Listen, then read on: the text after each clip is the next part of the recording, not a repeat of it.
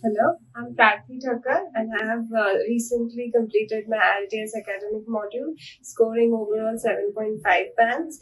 Uh, here, uh, taking coaching for IELTS in D Vivid Consultant was a really mesmerizing experience and uh, it was very helpful to me for uh, my skill development in various modules required in IELTS.